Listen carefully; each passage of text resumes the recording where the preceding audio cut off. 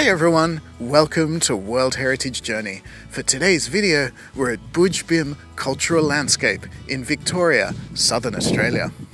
So this is a really interesting World Heritage Site and one that's unique for Australia because it's the only fully cultural World Heritage Site in Australia entirely devoted to Indigenous Australians. And what is it? Well, it's an aquaculture landscape fish farming that sustained the indigenous populations of the area for thousands and thousands of years. Let's check it out.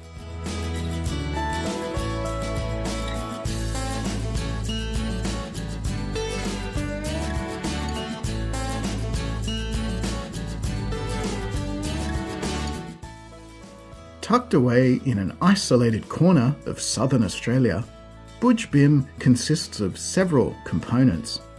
The largest area is a series of river channels and wetlands formed by lava flowing from the long extinct Budj Bim volcano down to the sea.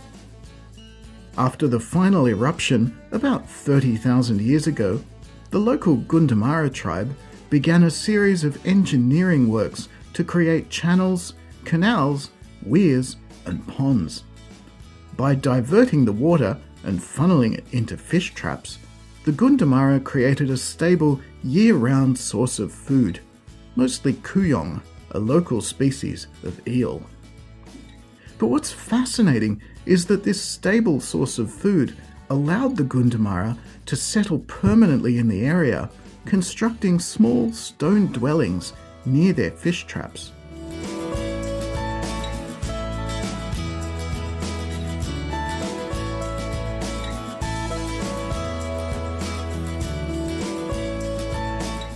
The system was in use from at least 4000 BC right through until the 19th century, and it's highly unusual in Aboriginal Australian culture.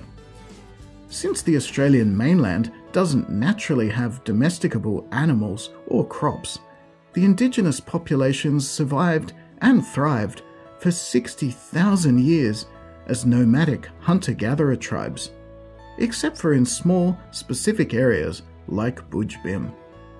What a fascinating spot.